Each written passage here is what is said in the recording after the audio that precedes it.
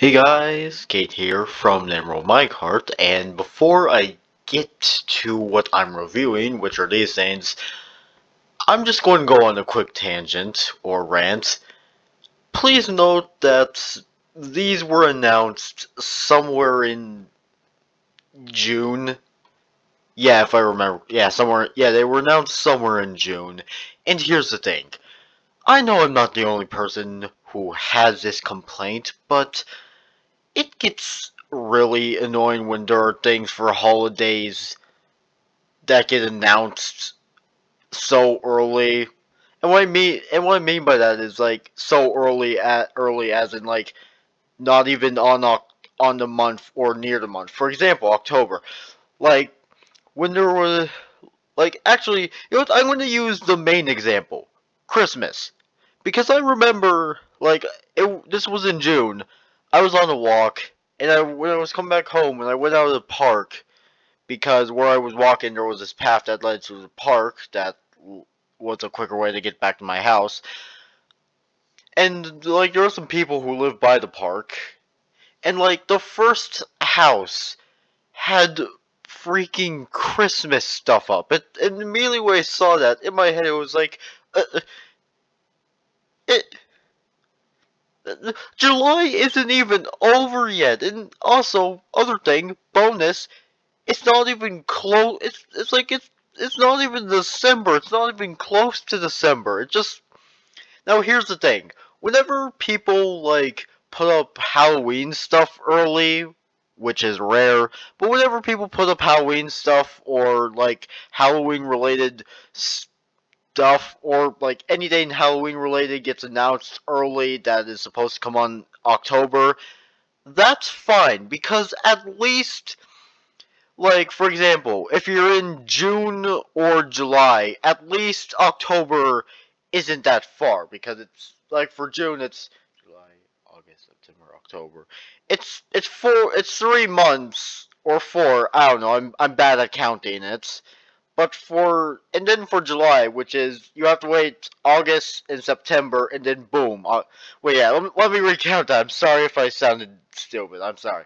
Okay, so for June, you have to wait until July, August, and September, and then after that, October.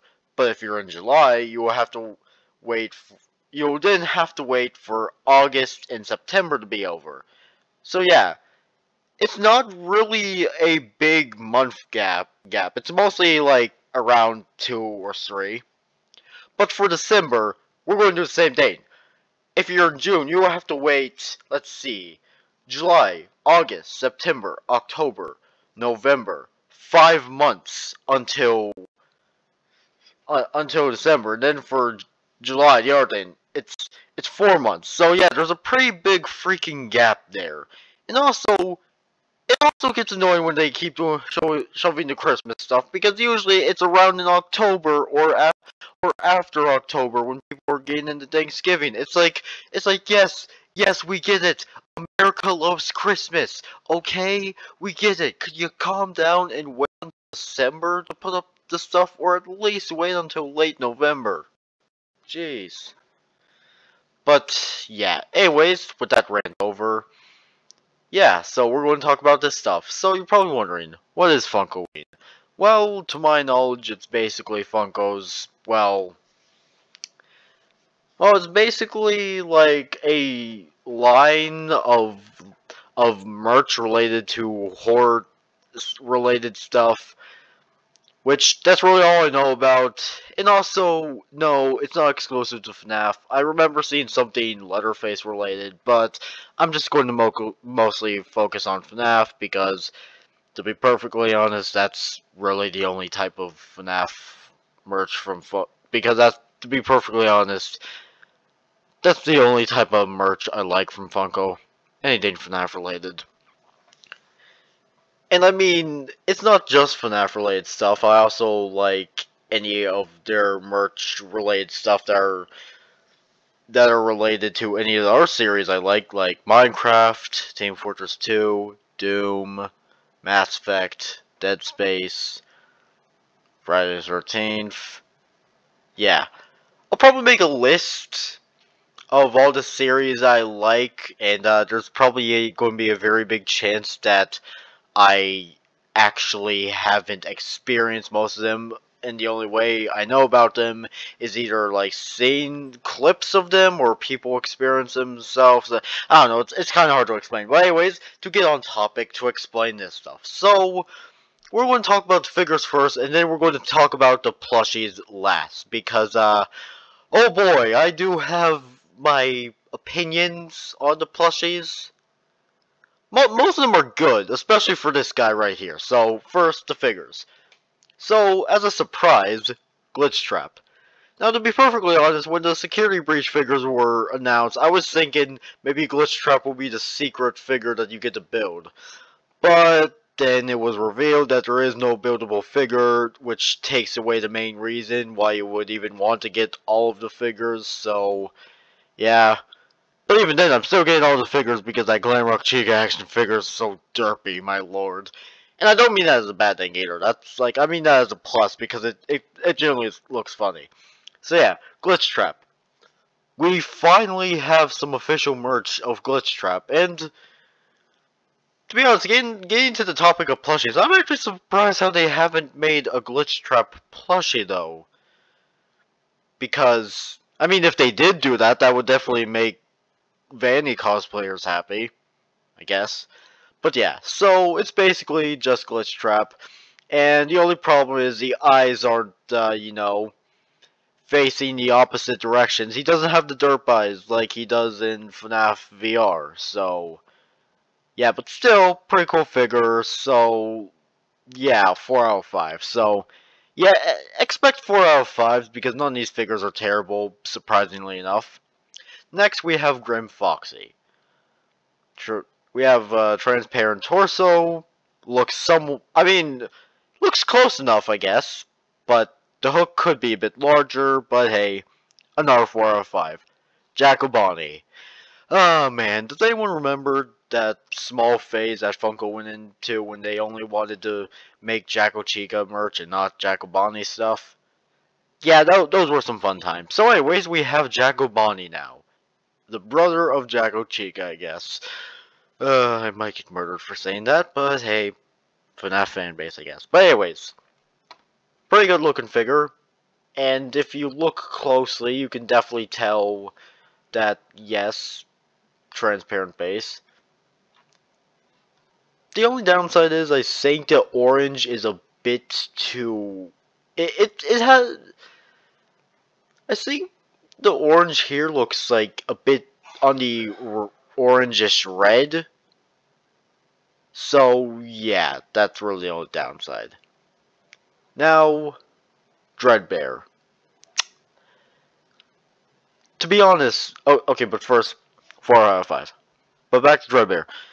To be honest, the only complaint that I have is his color, because in-game, like right here, like he has more of a brownish moldish color, like the plus right here, which they got right here, but they didn't get right here but to be honest, that's really my only complaint. So, yeah. Looks pretty cool. So, yeah, 4 out of 5. Now, the Walmart exclusive. Great. That's... I'll... After I talk about... You know Yeah, I want to get this off my chest now. This does not make me happy, because the last time I went to Walmart to look for FNAF stuff, I barely found anything, so I'm kinda worried that this and this will be really hard to find, which is a bad thing, because I really want this and this, specifically this, and this. But, anyways, it's mostly just Foxy in a pirate outfit, aka the one he wore in one of the mini games for the Curse of Curse of Dreadbear expansion. So, yeah. I'm just going to give it 4 out of 5. Okay, now we get to the plushies. First of all, Grim Foxy. To be honest, doesn't really look that bad. That bad. The hook is cute, and I don't know what's going on right here, but I guess that's the lighting. I guess I I don't know. Four out of five. Next one, Jack-O-Bonnie. To be honest, it, it looks okay, I guess. It's not bad, but it's not it's not great, but still good-looking plushie. So, yeah, our four out of five. And Jacko, oh god,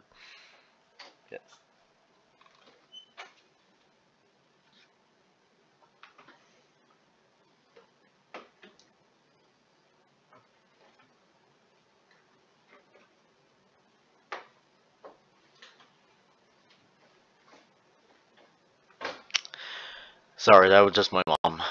But, anyways, you're probably wondering, what was the silence about this one? Well, here's the thing. Now, I'm about to share a opinion. Now, uh, before you go on, let me explain what this opinion is. Now, this is a opinion that may or may not cause some FNAF fans to probably want to kill me, but here's the thing. I do not like the Toy Chica plush whatsoever. And in fact, I actually like Funko's, or, Funko's original F FNAF 1 Chica plush. Yes, that's that that is correct. I I like the FNAF 1 Chica plush that Funko made over the Toy Chica plush that Funko made.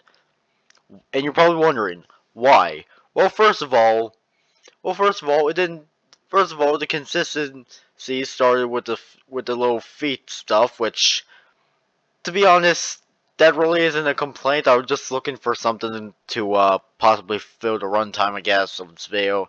I don't know. To be honest, the feet, to be honest, it's not bad, but I just wish they would do it with more characters besides Chica.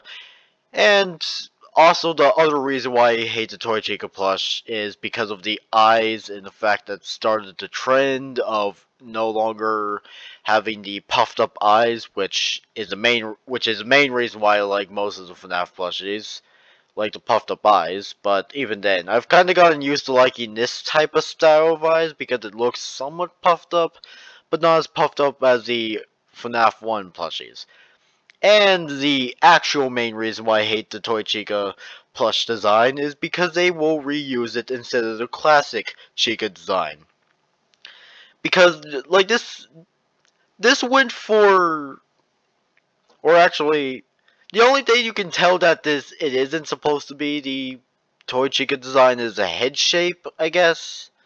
I don't know, they obviously re just reused the Twisted Chica one. Which, here's the thing, that Twisted Chica plush, they just reused the Toy Chica plush base instead of the Chica plush base. Which is really annoying because, again, I'm the type of person who likes the Funko's version of the FNAF 1 Chica plushie instead of the Toy Chica one. So, yeah.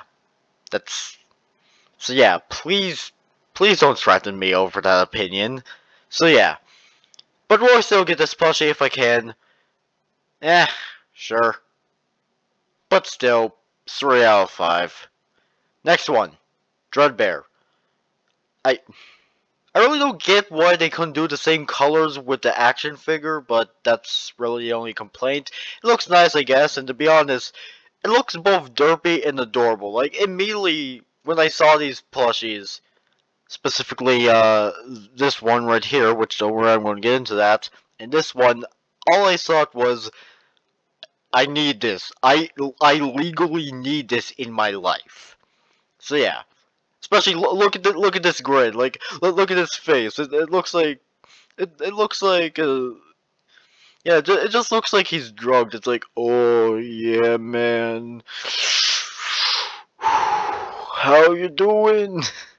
and and I mean that as a compliment too. Like I just, this this look this looks derpy and I love it. So five out of five. And now this one. This immediately when I saw this plush, I squealed like a woman. So yeah. Why? Look. Hold, enhance. Oh, wait, crap. Uh, Okay, wait. Crap. Okay, yeah. Look, look at this face. Look how adorable that face is. Look, like, look at the little hook and the little teeth. D look at that face. It, it's small. It's small and I love it. So yeah, 5 out of 5 stars.